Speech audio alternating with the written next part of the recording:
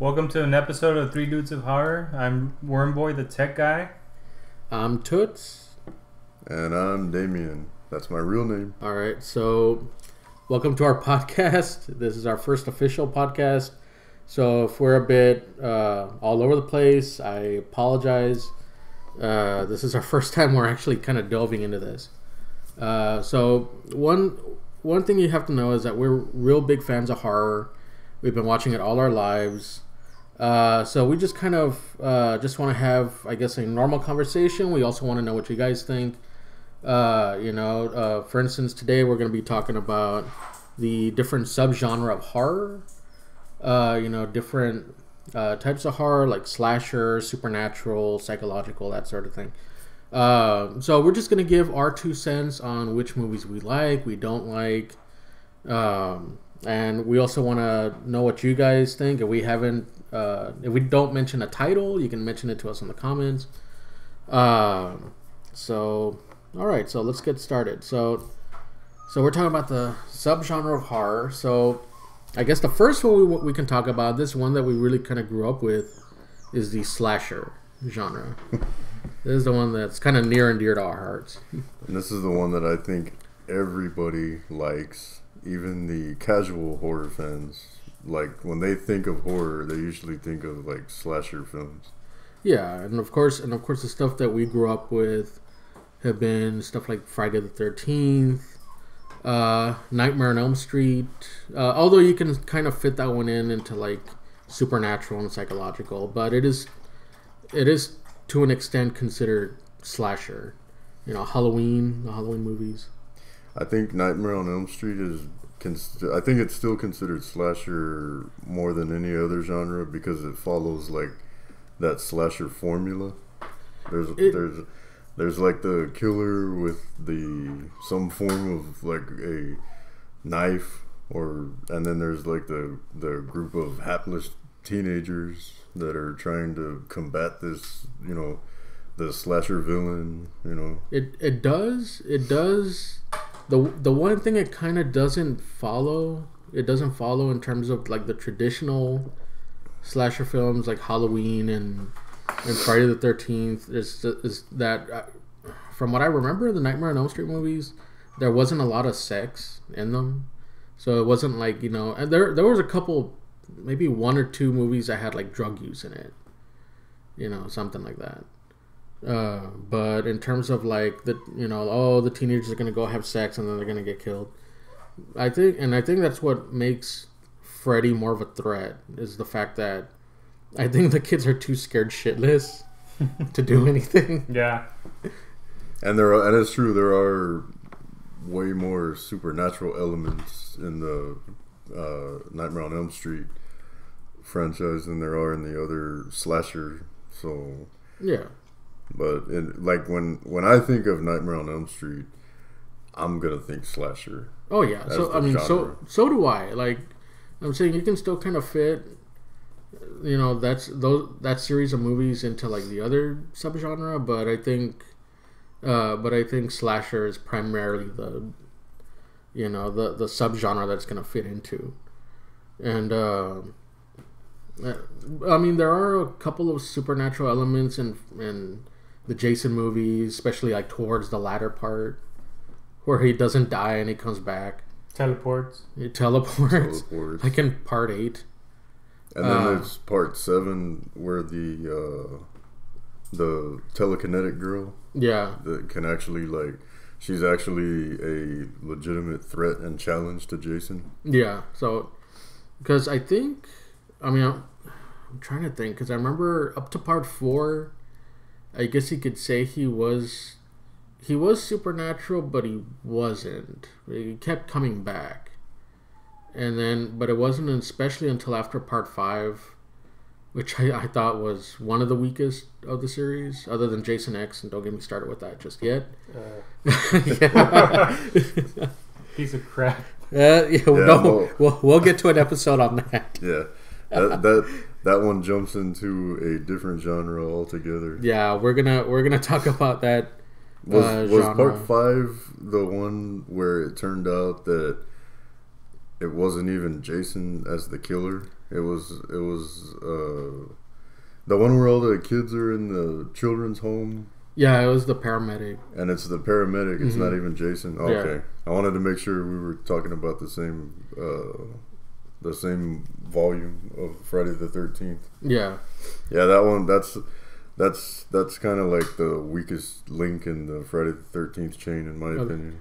other than Jason X. Other than Jason X. yeah, yeah. Just uh, um, but don't worry. We'll we'll dedicate uh, at one point. We will dedicate an episode to just either awesomely bad or just horrifically bad Yeah. uh, horror Shit- movie. Shitty horror Uh, oh yeah, okay, And yeah. that's where Jason X will come That's- back into the podcast. That's where it lives, not in Crystal Right, Lake, but right. but in that episode. Though, actually, there's one franchise that came to mind right now when Mhm. while we're talking about slasher. We can just get it in there real quick Mhm. because this was more like, and I, it's the I wanted to t- I wanted to mention the Scream franchise. Oh yeah, because that one was to me it seems like on its own standalone it's a slasher franchise with a with its own killer the ghostface killer. Yeah, but at the same time it was also kind of like tongue-in-cheek poking fun at the slasher genre yeah. It also it could it could fit into like comedy horror. Yeah. right Uh, but yeah, you can we can consider that one slasher. Uh, another one we haven't mentioned uh, is Halloween. Halloween. That one's the one that pretty much started the whole thing. right Uh, That's the Halloween is generally considered. I've heard several sources call it the godfather of the slasher genre, mhm. which is it's hard to argue with that. Yeah, because it it did come out. It did come out before Friday the Thirteenth, and uh, and that's another and that's another example of where at some point, especially at the beginning, Michael Myers was. I was gonna say Mike Myers, like nope. Uh, Michael Myers was uh, you know was an actual human, and then at some point I believe we're on. I, I want to say like part or even part two. Like he started getting kind of, you know, almost superhuman strength, like walking through a glass door. Right. Yeah, Well, I I either saw or read an interview with John Carpenter that when he created the character that he's supposed to be like he's not supposed to be human in a sense. He's supposed to be like just evil personified. And Yeah. that's why he referred to him as the shape hmm to to dehumanize him. That it's just he's evil personified, just nonstop. You know, you you cannot stop, no matter what. And it's but it's true in the early in the early films in that franchise. It's it's left really vague. Like they never give you any like concrete like clues or hints that he's supernatural. yeah, But it's just, you know, he gets shot, he gets stabbed, he falls off a two story balcony and nothing stops him. So yeah. Because I remember in part two, uh, in the hospital where he gets shot in the face twice in the eyes. and his whole big dilemma is he oh he just can't see them anymore and he's just kind of swinging around Uh, perfect example. Yeah, and so yeah, I could see I could see that. I can I can imagine that John Carpenter mentioned that, you know, well he was supposed to be evil personified, and it didn't really, at least from what I remember, because it's been a while since I've seen the movies, um, or at least at least the Carpenter ones that that uh, you know that it comes to the point where, you know, he, he like everybody just thought he was just a mental patient, and that was about it you know and i guess i could kind of see the little hints where he's supposed to be evil personified. And i think the only i think the only person that really caught on that was uh, dr loomis. Right. because in virtually every movie donald pleasence was just like we have to kill michael myers yeah uh, he's, he's he's desperately trying to explain to all the other characters in any given film in the franchise that Michael Myers is just this unstoppable like freight train force of evil yeah and it's kind of like he's always on his own like nobody really buys how bad, how evil Michael is until it's too late. yeah, and and his for the most part, from from what I can remember, throughout the series, uh, or at least you know, like I said, the Carpenter slash, you know, like the, you know, any anything pre Rob Zombie, um, you know, he was pretty much the one like either trying to stop him, and or you know trying to convince other people no he's just you know he's evil personified. Uh, now Doctor Loomis in the Rob Zombie movies, yeah, that's where he does he he does kind of do that in the first one, where he is trying to explain that like there's no way I can help him, you know, unless I mean you can probably correct me on this because like I said I think the last time I saw the first Rob Zombie one it was I want to say it was sometime after it came out in theaters. Uh, Well, but in the Rob Zombie Halloween universe, Rob Zombie did want to make it very clear that in in his version of Halloween, Michael Myers is very much human. mhm. Like when when he takes a bullet wound, when he takes any kind of uh, like any kind of wound or any yeah. kind of damage, any kind of strike, like it hurts him. He grunts. It slows him down. Like he wanted to he wanted to stress like very much that in his version, like Michael's actually very much human, like flesh and blood. Yeah, and and and like I'm I'm for as as for part two because I've seen part two, but I only saw it one time, and that was at the theaters. You know, when I saw the Rob Zombie Halloween two, and I thought it was okay. It wasn't. I didn't think it was as good as his first as part one. Um, I mean, I remember it was a lot darker, and the other the only other thing I can remember is that Dr. Loomis kind of sold out, and he was you know trying to get a, like he got a book deal and stuff like that. And I think at one point Weird Al came out. I think that's the one thing I remember. And like you said earlier, he uh, Weird Al makes a joke on a talk show that are we talking about Mike Myers, the Austin Powers actor, or are we talking about Michael Myers? Like that was Weird Al's little cameo in that movie Yeah, because I'm sure many many people like that were very casual fans of horror were confused about that also. hmm So they kind of just like threw that out there like tongue in cheek to the audience yeah, using Weird Al, yeah. which is perfect. All right, so I guess uh, we're gonna go ahead and move on to another uh, subgenre. Let's see. I guess we can tackle. Let's see. What's a good one? I guess maybe like supernatural. I guess maybe supernatural. Uh, so what do you what do you think of when when you think of like oh supernatural horror? Supernatural horror. Yeah. Wow. Like many, I guess the Hellraiser movies would that qualify, Mm, or was that more slasher?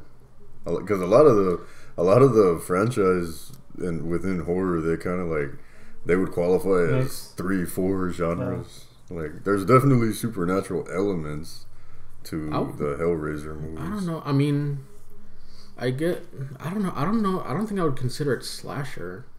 I would say it probably is supernatural because it has to deal with The box. the Cenobites that you know are potentially. Well, I mean, they say they're demons. Right. You know, depending on who opens the the puzzle box, or they could be, or they could be angels.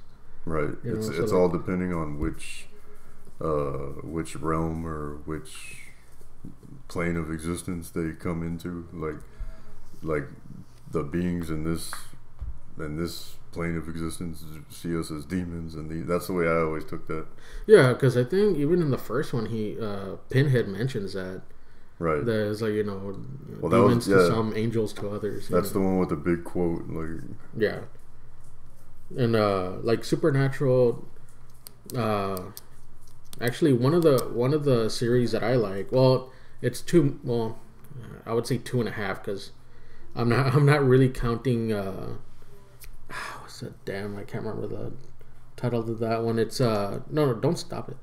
Uh it's uh Annabelle. Yeah, it's probably the Conjuring movies.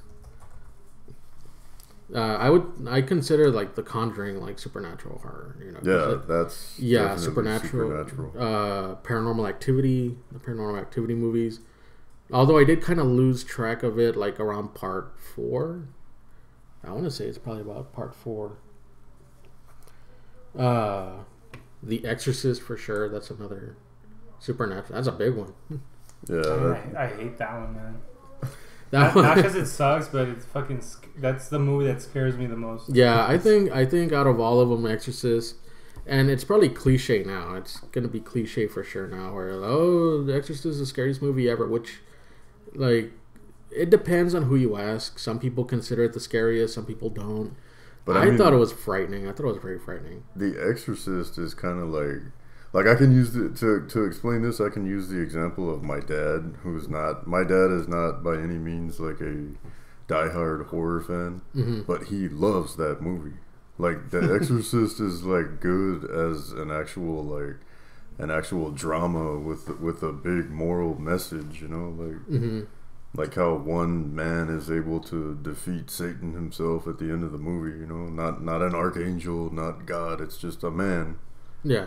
who's able to defeat. You know, who's able to withstand the temptation once the devil's in, like possessing him. You know, I think I think it had a powerful message. I don't know. Yeah, like uh, it's it's one of those movies where, you know, if it's on TV, I would have to be hard pressed to watch it because to me it is so frightening, and it didn't help that I saw it when I was a kid on VHS, so that didn't that didn't really help. And I remember seeing I, I remember seeing part two and three. I barely remember part two uh, because I, I mean I would always hear that one sucked and whatnot. I honestly don't remember it. I only wa- I found it a bit confusing, but mind you, I was a kid when I saw it, and this was back when VHS were very popular. Yeah, I would have like the sequels. I would have to watch like the first one. I own it, Blu-ray, special edition, all that good stuff. Like the sequels, I would have to watch again. But I mean, the the original Exorcist. I mean, that movie has just become like that's one of those ones that actually like transcends horror. Like most people have seen that movie and know that movie. And actually the the house at Georgetown University where they filmed that Mhm. movie Yeah, like after they filmed that movie the owners of that house had so much trouble selling the house that they actually had to have the entire wing of the of the house where Regan's room was torn out of the house. Because nobody would move in there after that movie came out because that's how much it actually terrified people like it was crazy because I remember I remember I also heard that the guy that played the director in the movie when they were making like he died like right after that scene was was shot or something like that. Yeah, and there were a lot actually on the set. There were a lot of mysterious deaths, like the night watchman that that watched the set at night, like he mysteriously died. That was there was just, there was a lot of creepy stuff going on with that movie. Like that movie, we could do an entire podcast just on that movie. I think. Yeah, yeah. Uh, and uh, you know, but like I said, the con- you know the Conjuring movies, which I find fascinating, uh, because I mean they're allegedly based on true stories, but I also kind of like the fact that if it was a true story, like it's very interesting. And I'm and I know that some of it was dramatized, you know, and uh, you know, kind of glorified, you know, for the movies, you know. Yeah, chewed up and spit up by the Hollywood machine. Uh, yeah, But they're really good movies. Though. I It's like them. It's James Wan we're talking about. Yeah, Like that guy's one of the best horror directors around right now, in my opinion. I think. yeah, and and and Annabelle, I thought it was okay. Uh, I'm, I'm terrified of that one you're terrified of that? because I'm well. I'm terrified of dolls in general. Like anything with dolls. Yeah, terrifies me. Well, I mean, the Annabelle doll. It's kind of like who in their right mind would buy that doll and then have it in a room with their newborn baby? I'll say I'll say this though: if if I were if I would if I would have to buy that doll in real, it would have to be for some sort of prank or a bet. I would have to be either winning or losing money, or ha- or just you know taking the joy of scaring the shit out of somebody to have that doll in my house, you know, temporarily. You know, but uh, but other than that, I wouldn't I wouldn't buy it, especially at a garage sale. Yeah. Um, so yeah, so there. I mean, I mean, there's a Well, while we're talking about supernatural horror Mhm. movies, I wanted to. I don't know. I want to just throw this out there because this has been like a favorite of mine, and it's kind of like an underrated. I I think it's somewhat like an underrated franchise. Is Candyman, I like Candyman. Yeah, but that that's that qualifies under the supernatural franchise. yeah, I would say so. It's not it's not slasher. It's in essence he's an he's an urban legend. Right. You know, so you could say that's supernatural. You know, he's not necessarily a mon. He's more of a ghost than anything. He's not. He's not a monster per se. Um, you know, but uh, I'm trying to think of other examples of of because there's so many of uh, you know, and pretty pretty much all those subgenre have so many examples, and some of those examples could also be intertwined with other subgenre. Well, well, one movie that I think is in qualifies as in the supernatural franchise was that actually scares me. I've I've never actually seen the original Japanese version, but Uh-huh. The Grudge, Oh, The Grudge, yeah, the original Grudge, The Grudge, The Ring, The you know, like the Ring. Ring movies. but The Grudge in particular. When I f- saw that the first time, it it scared me. Like it actually like it was it was chilling. Yeah, it- I mean, I, I, the only thing I remember from that's the one with Sarah Michelle Gellar, right? Yeah, Yeah, I just remember that scene at the beginning with that girl, like with the tongue and all that, like that, ah, like that. yes. That's really the only thing I remember. I honestly think that it's just the way that the ghosts appeared in the movie, and Mm-hmm. and just the overall, uh, the overall like ambiance, the, the overall like mood of that movie was just chilling. Like, like I don't know, it, it, and I still don't own it, but I'm gonna put it in my collection. But if we're talking about supernatural horror movies, I just had to mention that one real quick. Yeah. Um, but another, so, uh, going to another genre. This one, this one's a popular one. I don't know how popular it is. I guess it kind of is because of The Walking Dead, but zombie movies. Oh, Yeah. Oh yeah. calm, That, calm, that gets me all wet. yeah, calm down, worm boy. we just got Worm I Boys. love, I love I love zombies. I mean, you, you name it. I, I used to play video games with zombies. I still play video games that involve zombies, and I love the movies and Yeah. The Walking Dead, of course. if you if you want, I can get you a towel and a cigarette later. sure. uh, but yeah, zombie movies. Uh, you know, the ever classic Night of the Living Dead. Got to talk about George Romero. Yeah, George Romero is just he's the the king of the zombies, and I'm sure there's so many you know podcasts, so many TV shows, whatnot, other media that talk about George Romero. But uh, but this is our podcast, so we're gonna give our two cents. You know, uh, so you know, Night of the Living Dead, the original Night Living Dead. Uh, which I, I'm I'm also a fan of the remake, the Tom Savini remake. I thought that was very well done. Uh, creepy. it is creepy, yes. It is very creepy. Which, by the way, stars Candyman, Tony Todd. Yeah, Tony Todd, just yeah. have to throw that out there. yeah. Like, gotta mention that. Like, And uh, you know, the original Dawn of the Dead, Day of the Dead. Um and well, George Romero, honestly, I, I have to. It, it might be a guilty pleasure. I don't know. Like, I might, I might like, I might take some shit here, but I really liked Land of the Dead. Uh, I didn't mind I Land of liked the it. Dead. I did. I'm not gonna. I hate that movie. I I didn't I didn't mind Land of the Dead. Um We've got our first debate here. yeah, and and what what didn't you like about it, Worm Boy? Everything was shitty. Everything was shitty. Okay, that's one way to put it. All right. Um, I mean, I, I prefer like the, the 28 Days Later, Zombieland. But Those- but 28 days later, I mean, good. they can they can fall under a zombie movie, but 20 days later they're still alive. So that's it's more of a of a epidemic or inf- like infection or what's a good term for it? Epidemic. Uh, Uh, infection is pretty. I would say an outbreak movie outbreak. Yeah, it's more of an outbreak movie. I mean, well, you know, zombie. where they're not actually. Uh, They're not rea- dead. They're not reanimated dead corpses. They're, Yeah. they're they're still alive. They're just infected with a virus from monkeys. So you can you can debate you can debate that you can consider you can consider them zombie movies because they're not under their own free will anymore, but at the same time they're not traditional zombies, you know, or Hollywood zombies where that they're dead and they're and they're reanimated.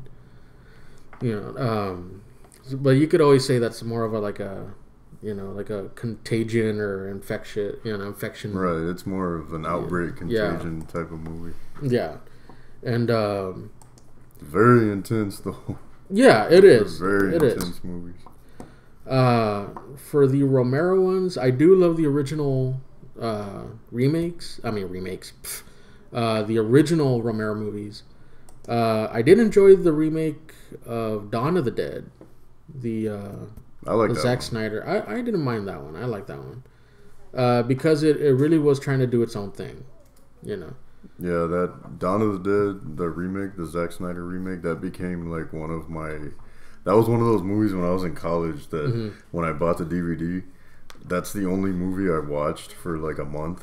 Yeah, I would watch that all the time. watch that movie all the time. Like the only the only gripe I had, the only gripe I had, and and it's not a you know there's there's flaws in the movie, but the one flaw that just kind of stuck out to me was the fact that even after about a month, because if you look at the if you look at the uh, the special features on the DVD where where it's talking about the guy the Andy like at the ammo Yeah, At the yeah. ammo I, shop? I, kn- I remember. I saw yeah, it. yeah, and then like, and, and if you count the days, you can more or less calculate they were there for about a month, maybe like twenty eight days. Right. You know, so you'd think the zombies from the beginning portion of that of that, you know, zombie virus spread. You know, you would think that they would have been that they would have been you know decayed enough that they couldn't run that fast. Completely de- like just walking skeletons at that point. Yeah, or at least or at least enough that you know they're not gonna run that fast. Right. You know, like the the fresher ones would. You know, uh, so that was my one. of You know, my biggest gripe. You know, with that, you know, I was. It, you could call it a nitpick or whatever. I don't care. Uh, and uh, let's see, I. I love the remake of Night of the Living Dead. Like I said, the Tom Savini one. I thought that was very well done. Uh, it's the, it was essentially kind of a reimagining of the original without changing too many elements. And uh, with, with George Romero remakes, I I'm not sure if it's a zombie movie, mhm. but I I loved the remake of The Crazies. I haven't seen that one. I That's actually the, haven't seen that one. That's a really good remake. Like I don't even remember the original Crazies that George Romero did, but that one that that's kind of another one like what we were mentioning earlier with the 28 Days Later, where it's just kind of living people infected with uh, with some sort of virus or bacteria, something that Mhm. gets in the water in this small town and makes everybody like just crazy lunatics, like out to kill. But they're not zombies; they still talk. They, but the the remake was really good, like like the production value, the acting, the story, everything about that movie was just, and it had like that. It had like that that tone with that with the whole background of like you know the the evil government you know that's trying to cover up the Oh, okay. Like they're trying to cover up like the incident and things Right. like that. Oh, okay. and where the the people are helpless because you know they're being quarantined and they're trying to find a way out and it's just that kind of vibe in movies hmm that makes it really interesting to me like it, it to the point i guess where it could almost qualify as like a psychological thriller Yeah. And uh but yeah, like uh let's see. Uh like I said, I was I was a I was a fan of those Romero movies. I didn't I didn't like the uh remake of Day of the Dead. Uh, the one with Mena Suvari and Ving Rhames. i haven't seen it Yeah, uh, As, as soon as I saw Ving Rhames, I thought it was like a part two of the Zack Snyder Dawn of the Dead. that's what I was thinking, and I think that was kind of what they were going for. But that was all that. That was on. That was the only appeal that that movie had to me. I was like, is it?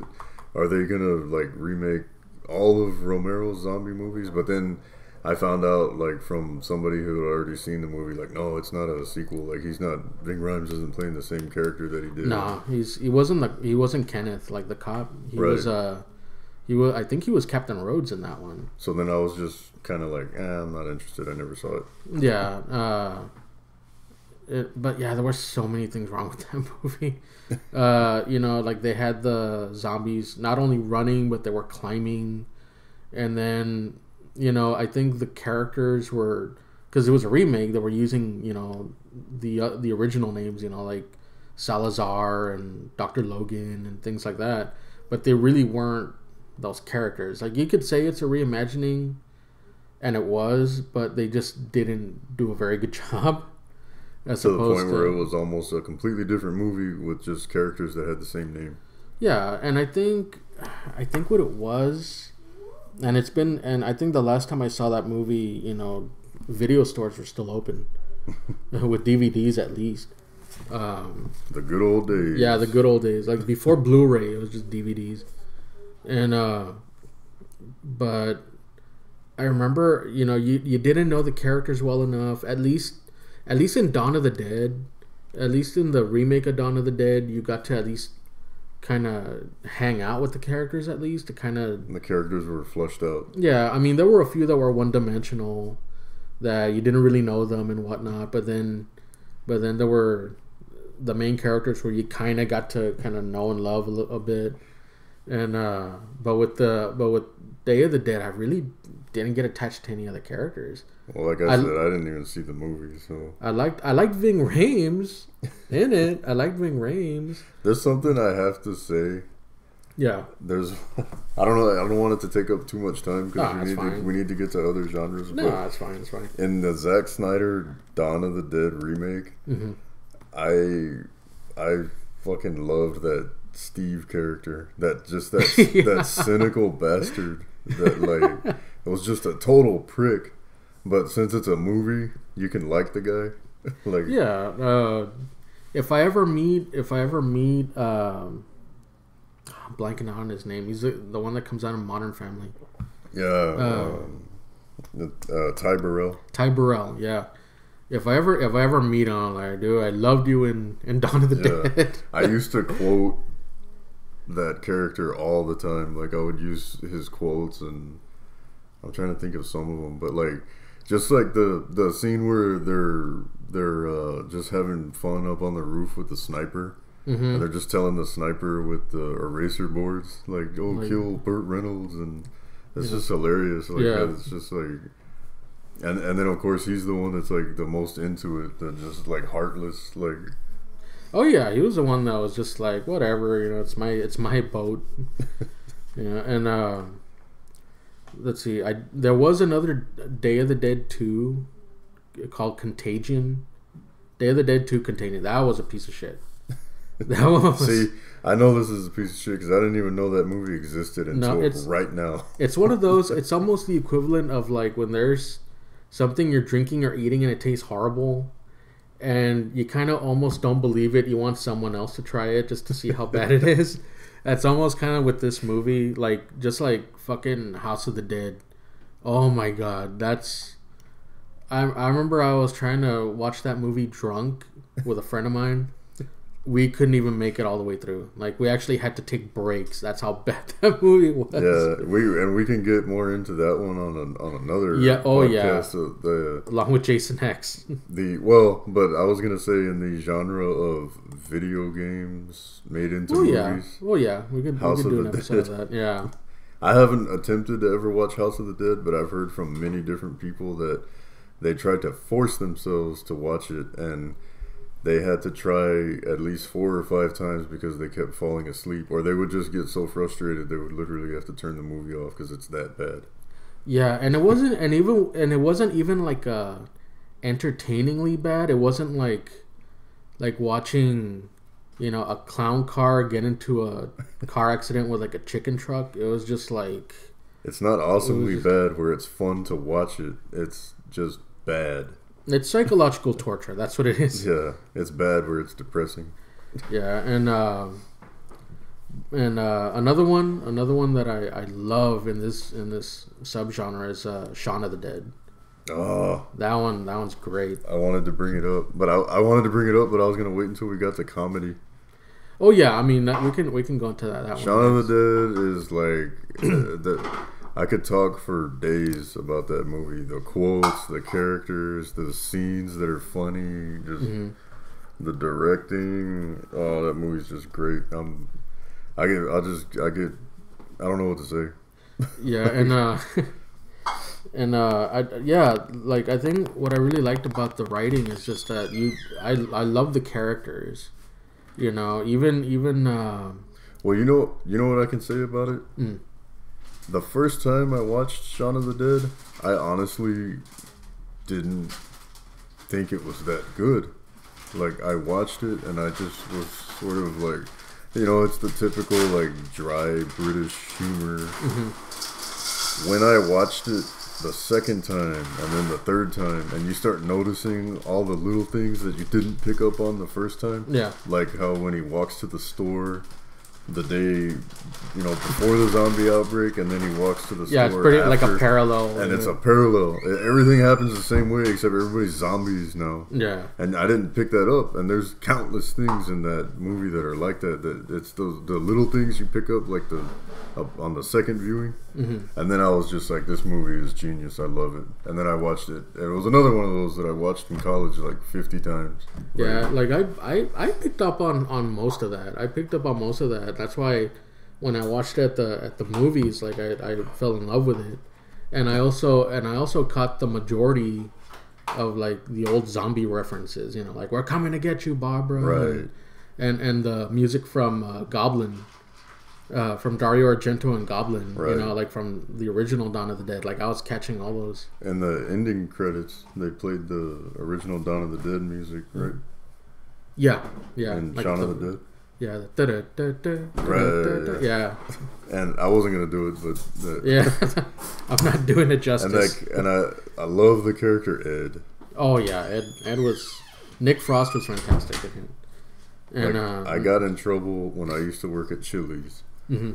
because of Ed. I actually well, you you were a grown up, so you knew what you were doing. No, I actually when we when we would get the winter Texans in, Mm-hmm. I actually walked up. I would actually walk up the tables because I had already kind of established rapport with like our regulars, hmm and I actually walked up the tables and I actually said, "Can I get any of you cunts a drink?" anyone.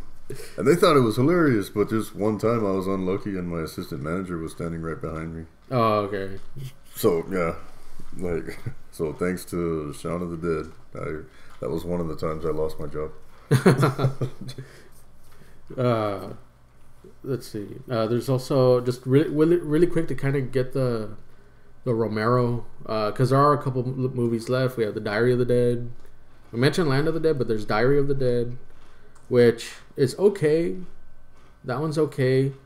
Uh, I remember back in 2005, I did write part of a script that kind of resemble Diary of the Dead. You had mentioned that before. Yeah, yeah, and, and but it was more of like a and we we were film and, and I wanted to film it like in the bookstore that we were working at, and uh, you know, and it was supposed to be more of like a comedy horror kind of thing, and uh, you know, where it's just like. And I wanted to change some of the rules, like we shoot them in the head, it doesn't do anything, and you're like, oh shit, you know. uh, and I would have had a lot of zombie fans come after me.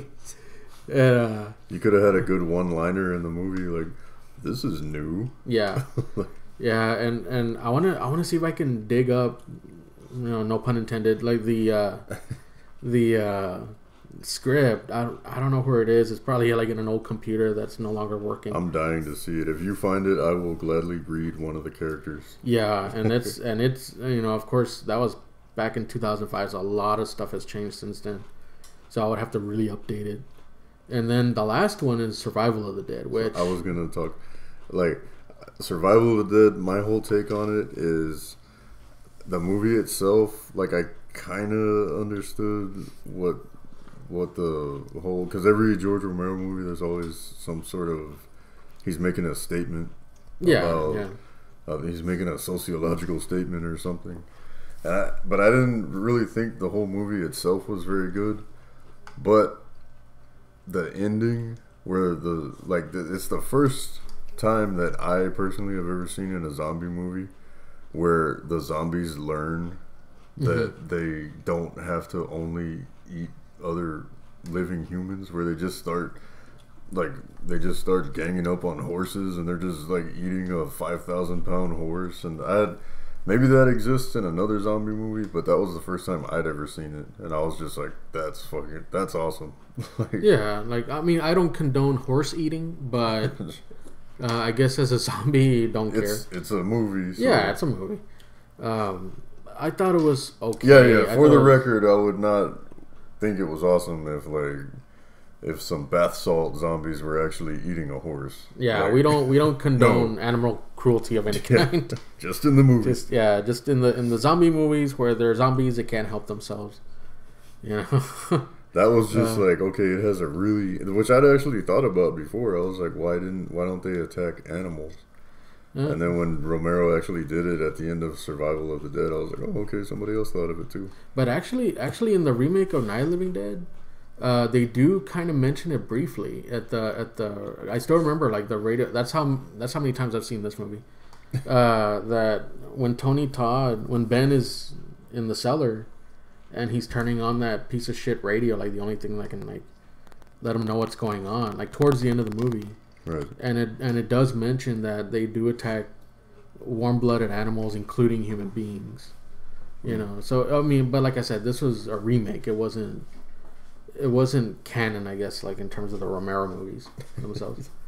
So Um, you, you can't talk about a you can't talk about a horror a horror genre just juggernaut like George Romero without spending the entire podcast talking about it. oh yeah, yeah.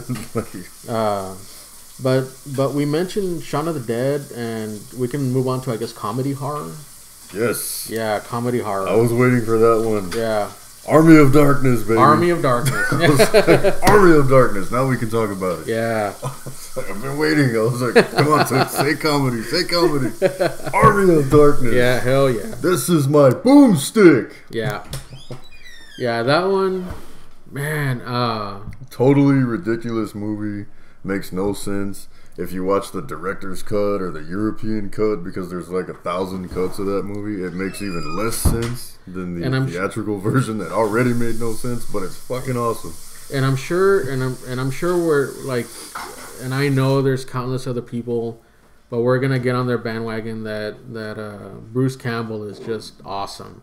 Yes. He is, yeah, he is, you know, and it's so weird seeing him from, you know, Evil Dead, where he's just a regular guy. Right. Then Evil Dead 2, where he gets his hand cut off, and then Right. he has to have a, a chainsaw and whatnot, and then Army of Darkness, where he's just this total badass. Yeah, he's You know. just a smart ass, just like. And I thought it was hilarious that in the past they see him as like this, you know, prophesized savior that's gonna save them from this dark evil, and he's just like a total jackass from Yeah. the future. But in the past, they see him like as this just this hero that fell from the sky, and it's it's fucking hilarious, man. I'm, I just love that movie. Yeah, and uh, and and and one of my favorite parts from the movie is when he's battling his evil self, Uh, and then you see like the little miniature versions of him, and right, and he has to shoot himself in the face with a shotgun. and the movie is so quotable. Like just about anything Ash says from that movie is quotable. Even that scene. I'm bad, Ash. You're good, Ash. Yeah. like, how many times have you said that to your to your friend? Like, oh, like anybody? Like, you're goody little two shoes. No, I haven't. I haven't said that. I'm. I'm actually trying to think if I actually ever quoted that movie to somebody. Oh, I I'm have. sure I have. I'm sure I have at some point. I've probably done it and didn't even realize I was doing it. like, uh, this this this one's kind of like in the zombie. Well, actually, it is actually definitely in the zombie genre. But I want Mm-hmm. if we're talking about horror comedy, I want to talk about Zombieland. Oh yeah, I was I was really like pumped for a sequel. It seemed like they were gonna make a sequel. That's how much I liked that movie. yeah, and and it would be great. It would be great to see those same characters. You know how they are today. Because I think the first one came out what 2007, Yeah, 2008, it's- something like that. It's been a while. It's Um, but it would it would be great to see you know Woody Harrelson and and Emma Stone and everybody just kind of like okay how would and it would be kind of funny if they actually kill off another celebrity. right. Like Bill Murray coming out, like which Ghostbusters. That's another horror comedy. Mm, yeah, Ghostbusters. Uh, Go- but Tallahassee was almost like he was almost like a, a new Ash in a in Mhm. a way. Yeah. Like, like Yeah. that character was just. I mean, all the characters were awesome. Like Yeah. And uh yeah, so so Zombieland, like I said, it'd be great if they actually did a sequel, even if it's like ten years later or something like that. Just to see what they were up to. Yeah.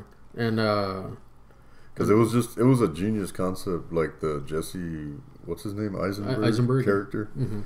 like the the uptight, obsessive, compulsive character that's got all these rules and actually like is so OCD that he writes them down in a little notepad, and then that character hooking up with and traveling across the country in the midst of the zombie apocalypse, like or in the wake of the zombie apocalypse, actually Mhm. with a character like Tallahassee. Like Yeah. that was just like genius for comedy. Like Mhm. these two opposites. Like Yeah, and uh let's see, another I guess you could consider this one zombie horror comedy other than Shaun of the Dead's Reanimator. oh, Yeah, I like I like Reanimator. Uh that I can't watch because my wife is a animal lover. Yeah, there's there's a scene regarding a cat that he's trying to bring back to life by this serum. Uh, if you guys haven't seen it, I would recommend it uh, on net. I believe it's still on Netflix. That one's actually it is based on H.P. Lovecraft. Yeah, it is. Yeah. and it's been years since I've read the the original story. Which that alone just gives it credit. Like it's gonna be good. Yeah, I Based remember, on an H.P. Lovecraft story. And I remember, I remember the original story was just very, very dark and serious because it's H.P. Lovecraft. You know, but I liked how when they adapted it, you know, to the big screen, they made it more of like a comedy. You know. Uh, especially with like the floating head and whatnot, and Yeah. yeah, That's one that I need to watch again though. It's been a very long time. Mm-hmm. Uh, let's see. I'm trying to think of other comedy horror. Um, let's see. Uh, I would mention Chud too, but I don't think anybody remembers that one. I barely remember that one. Uh, there is there was a movie called Chud, uh, cannibalistic humanoid underground dweller, that starred Daniel Stern Oh, and, okay. and John Heard. There's no way that can't be comedy. No, and the funny thing is the the first one, the first Chud movie wasn't really a comedy. It was, you know, uh, they they did play it pretty straight. And once they made Bud uh, Chud Two Bud the Chud, that's actually the full title of it. yeah, that's when they made it into a comedy. Just the title. I've never seen these movies, but just the I've titles. seen I've seen parts of that Chud has to 2. be a comedy. I've se- I remember I remember parts of Chud Two. Oh, and that one i mean it has robert vaughn and you know and essentially they're like they're essentially almost like zombies but they can talk you know but but they do play it very comedically but i i still like chud 2 better than the than I've got I've got some homework. I'm gonna have to get on the Fire Stick and watch the Chud movies. uh, yeah No, oh, there's one. I can't believe I didn't think of this. Uh, which with this one is kind of like what we were saying earlier. The term we use, the Godfather of. It's like the Godfather of horror comedy, uh, American Werewolf in London. oh yeah I, I love that movie. yeah that's a great like movie Jonathan Landis. hmm Another one that's really quotable. yeah I didn't mean to call you Meatloaf Jack. yeah I, yeah i really like the griffin dunne character the one that Yeah. the friend that dies and, And he keeps is just haunting up. him yeah And every time he shows up, he's more and more decomposed. yeah And then all as as he starts like the first time he changes the David character Yeah. and he goes on a killing spree that of course he doesn't remember because he's a werewolf. And then he starts getting haunted by all of his victims along with his friend who's trying to convince him to kill himself. It's like a really dark comedy. Yeah, it is. Now uh, we're gonna go ahead and talk about one more subgenre, and then I guess we'll continue on the next episode because there are, there are quite a few. Uh, I guess, uh, I guess the one I guess the one that pops into my head is the sci-fi horror. So Alien. Alien, Aliens, Predator. Predator. Uh, you know, especially and and the one it really kind of it kind of popped in my head because Bill Paxton recently died. Rest And-. Yeah, and one of the and one of the roles that I really loved him in was Aliens. Mm. You know, I mean, don't get me wrong, I loved him in like Twister and Frailty and all that, and we'll get into Frailty like next time. But Hudson, Uh, but yeah, you know. another quotable character. oh yeah, He was just like that. Tip, he was just the typical uh, Bill Paxton, the loose cannon, like the loose cannon character. But he was like, he was like the, wasn't he kind of like the computer expert in the movie? Like he had a special skill that they needed him. I'm, like trying, where I'm trying to remember. you know he was the one that knew how to go through all the blueprints of the facility they were in and they even mentioned it. They were like dude if you were like like sigourney weaver ripley she's Mhm. like they say something along the lines of like if we didn't need you which we need you like but you're such a prick. Yeah, like like with a negative attitude like once once the once like most of the space marines get killed by the aliens hmm or they get taken where they're you know they're gonna get like harvested or whatever they do. Yeah, he's just like he just completely gives up and he's just like shouting like fuck it let's just quit and then they're like if we didn't need you because of your that special skill that he has Yeah. they're like we would probably just like kill you because you're And- annoying the shit out of all of us and the thing is, and the thing is, uh, but the way he acted, but the way Bill Paxton portrayed it, like he did, like he had charm to it. yeah Because if I think if it would have been any other actor, uh, not that one can just pop in my head right now, but I think if it would have been any other actor, they would have been like, "Oh, this guy's annoying." right But the way, but the way he portrayed it, you know, made like you like him yeah, where he was just like, "How do I get out of this chicken shit outfit?" You know, it's just like you know, like he he was funny at the same time, so he was charming. He was annoying, but he was charming. yeah Yeah, what And- we fucking do and I guess. And I guess if you want to go back to Supernatural, I was gonna bring this up. Uh, I guess when we got into Gothic horror, but speaking of Bill Paxton, you know, Near Dark, so he was a oh, vampire. i love that movie yeah, underrated vampire movie Yeah, from the yeah. 80s and I loved I love that whole bar scene where he's just like finger licking good, you know, Yeah. like you know. I uh, had, you know, did you see the interview with him where he talked about he had like a really bad migraine, and he told the director, like I, I can't, I, like I can't even see, like I'm seeing stars, yeah, and they actually gave him like a B12 injection or something, so he's actually high in that scene, like, and they just like it seemed like the director was just like just just just cut him loose, like just just let Bill Paxton do his Bill Paxton thing. yeah. Like that, he just owns that whole scene. Oh yeah, and then like he kills the bartender with a spur, and you know, and, and yeah, to me it was one of those memorable scenes from the movie. And but yeah, like you said, very underrated, very underrated had- vampire movie. He was real good at ad libbing too. Like when he when he when he kills the biker by like crushing his skull. Like Mhm. he wasn't supposed to take the guy's sunglasses and put them on. Yeah. Like that wasn't in the script. He just did that. Like he was so in character. Like it was Yeah. just like that great like loose cannon in that little vampire group. And what I, I liked about Near Dark was that they kept a lot of the like the director said in an interview like she wanted to specifically keep all the gothic elements out. Yeah, which were typical in vampire movies you know like the the fangs the stake through the heart all like it was almost like it was supposed to be like a western combined yeah, with a like vampire movie like they were there to survive. You know, right uh, they weren't. You know, it wasn't like all these rules or anything. Yeah, sunlight could still hurt them, but You know, other than that, they just kind of were just trying to make their way and feeding on people. and they weren't like ridiculously wealthy. Like they were like a they were actually like poor. You know, they were. Yeah. It was like a like a poor traveling family of drifters. Yeah, and they weren't and they weren't sparkling in the daylight. So yeah, Oh, we're Uh, not, we're not getting into that. yeah, no, We're not gonna have to get into yeah, that. no. Fuck that. Don't worry. into that. We'll have we'll have an episode of the Yeah. you know of the House of the Dead's and the Twilights and the well, like the what was it the Day of the Dead Two Contagion. Of Flight of the Dead. Oh, oh, and one another one that you have to watch going back to zombies. Uh, is fucking Children of the Living Dead.